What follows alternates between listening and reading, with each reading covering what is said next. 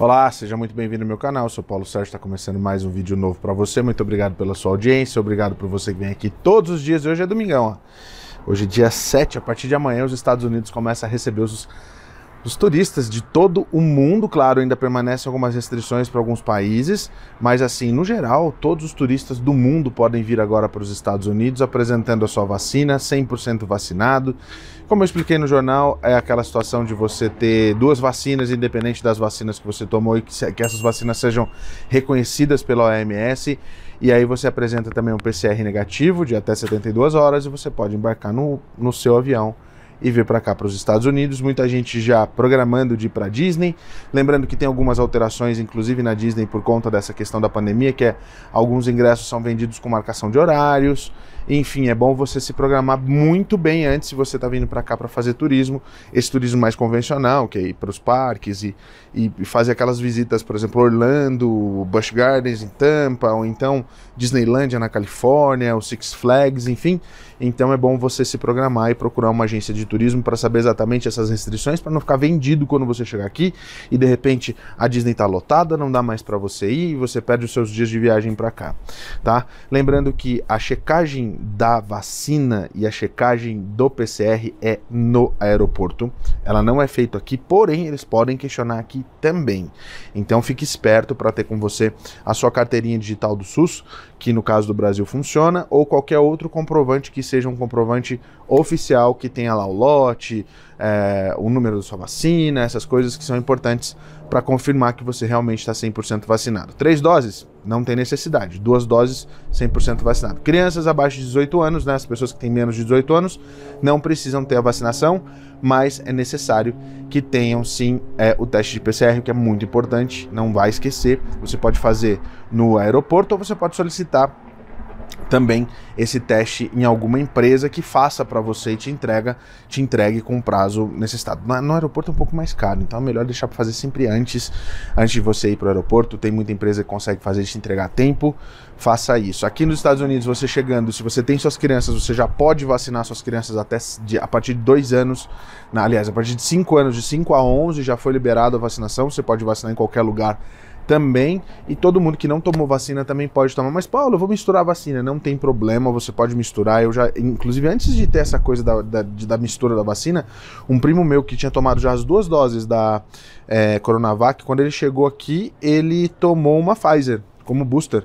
Então não tem problema nenhum, você pode fazer essas misturas, inclusive com o Johnson Johnson também.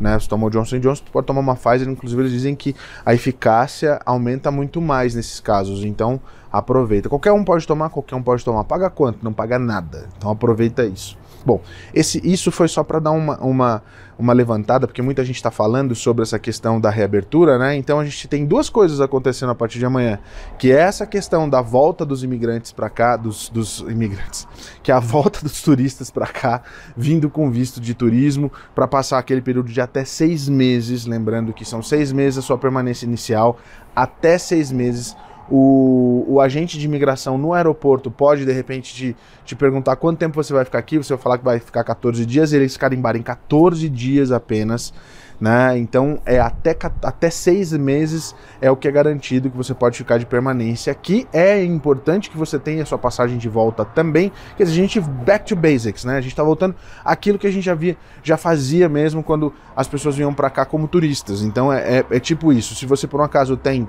uma situação de, é, ah, eu tenho uma uma reunião de negócios, eu tenho uma conferência, eu tenho uma maratona para correr.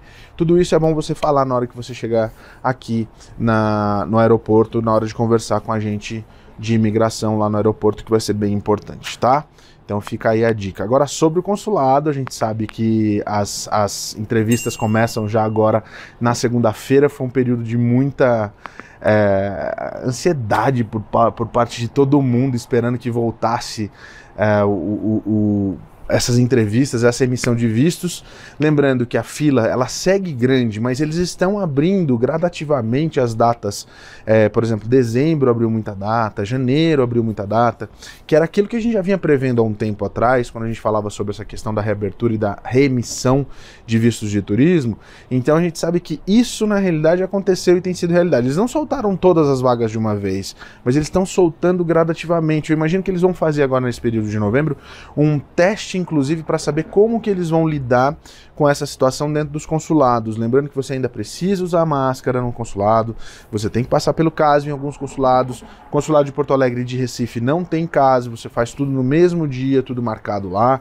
E aí a gente tem toda aquela situação. O que mais que eu preciso fazer? Gente, a gente não sabe exatamente qual vai ser a postura e o posicionamento dos agentes, dos agentes consulares agora para essa volta, para essa retomada. Então a gente tem que fazer o arroz com feijão e o básico mesmo na hora da entrevista, que é você ter o teu perfil de turista. É o mais importante.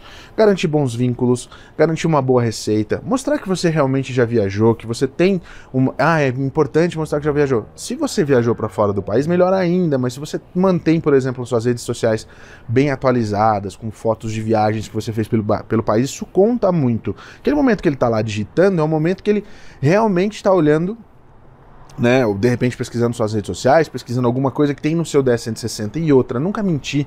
Dentro do DS160 que você faz, por exemplo, na nossa empresa a quatro mãos, tá tudo aquilo que você é realmente, sem mentiras. Não tem por que você mentir, porque se você mentir realmente tiver o seu visto negado, você pode ser negado por vida.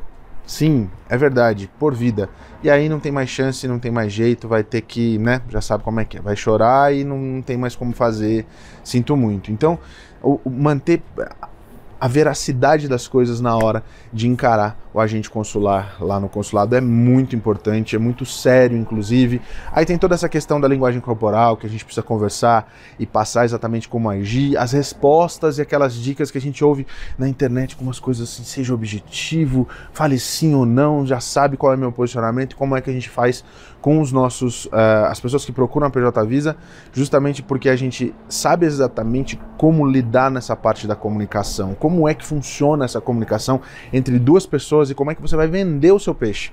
Né? E, e claro, a mentoria para o visto de turismo e a mentoria para o visto de estudante é muito diferente, são coisas completamente diferentes, são pegadas diferentes, com propósitos e objetivos diferentes, mas os dois têm propósitos, os dois têm objetivos. E a gente tem que seguir essa linha porque é a linha de raciocínio também do agente consular que está lá entrevistando você. E mais uma dica que eu acho que é importante também é a gente ter clareza na hora de falar, é, falar de forma não, não rebuscada. Tem muita gente que busca palavras difíceis na hora de, de, falar. Não, isso não precisa, gente.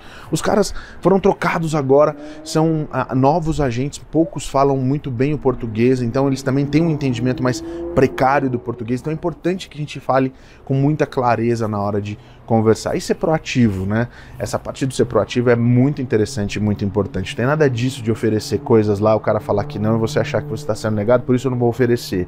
Muito pelo contrário, a gente tem que saber a hora certa e como fazer isso. Tudo isso e muito mais eu falo durante a, me a mentoria que você pode fazer com a gente para você poder entender como é que funciona todo esse processo. A gente vai te dar todas as ferramentas para você arrasar lá na frente do agente consular, que eu acho que é o mais importante nessa história.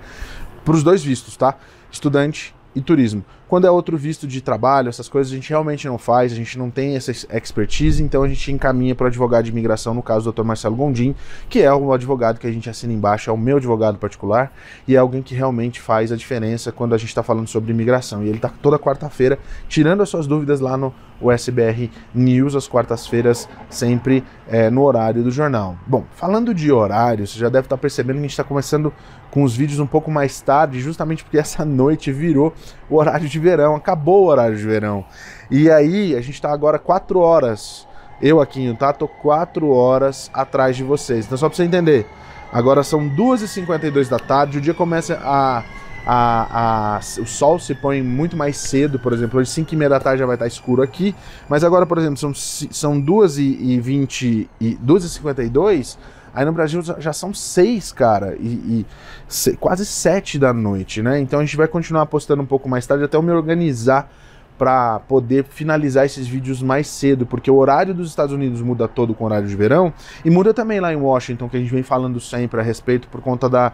É, falando sobre Washington por conta dessa situação da reconciliação orçamentária e da infraestrutura que a gente atualizou no vídeo anterior. No vídeo de, de segunda-feira eu devo trazer muita coisa a respeito dessa semana, que vai ser uma semana decisiva para a gente, para quem é imigrante, para quem está aqui e quer saber, é, quer, quer saber mais a respeito dessa questão dos vistos, como é que vai ficar, se eles vão dar, é, quem está dos vistos que eu digo assim, do, do Green Card, por exemplo, que eles estão com esse backlog imenso e que tem um lobby forte que a gente, eu descobri isso agora, já já sabia que tinha um lobby das grandes empresas, mas tem um lobby muito forte de muitas big techs que estão querendo sim que a imigração tome um rumo, principalmente por conta de recuperar esses, esses green cards perdidos, que dá mais ou menos quase 800 mil green cards, e que vai fazer com que o backlog, inclusive, né, dos processos, ele ande ainda mais rápido e vai ajudar muita gente que está vindo para cá também já com seus processos de legalização, é, através de trabalho, através de, de parentes, etc., até pelo pela, pela loteria, inclusive. Então, é, a gente sabe que a semana também vai ser bastante movimentada, então eu peço para você ficar ligado no nosso Instagram, lá no Sou Paulo Sérgio, na USBR TV, lá no sbrtv.com, ou então no SBR TV nas redes sociais. Vem com a gente porque é, é, olha, vou falar, vai ser bem, bem corrido e a gente vai tentar cobrir o máximo possível das coisas para poder agilizar né, e, trazer a informação correta, que é isso que a gente faz. Obrigado mais uma vez por você que está aqui. Não esquece de assinar o canal, ativar o sininho das notificações e também compartilhar esse vídeo com quem realmente merece. Não esquece de dar like aqui também no vídeo, acho que é importante também, deixar seu, seu comentário e sua dúvida de repente, porque eu sempre pego as, as mensagens, até cento e poucas é, mensagens eu consigo ainda é, responder, né? Porque como a gente faz vídeo todo dia, então é, é muita mensagem, tem muita gente colocando lá alguns vídeos, algumas mensagens mais, mais recentes de outros vídeos que aparecem para mim, eu também tento responder, mas assim, eu não tenho é, estado muito tempo respondendo as, as, as, perguntas acima de 200, 300 perguntas por vídeo, né? Então lá até 130, 150 perguntas, 150 mensagens eu normalmente estou lendo, mas eu tento ler o máximo possível que eu posso para poder atender você. Então, obrigado mesmo. Nosso canal está chegando quase a, a 187 mil inscritos. A gente quer chegar a esses 200 mil. É, eu acho que vai ser um pouco difícil até o final do ano, mas a gente vai continuar tentando para ver se até mês de janeiro, fevereiro a gente alcança esse número que vai ser bem bacana. Obrigado pelo seu carinho, obrigado por você que está aqui. Amanhã a gente se vê, tem vídeo todo dia. Até lá, fique com Deus, que Deus abençoe você e sua família. Tchau.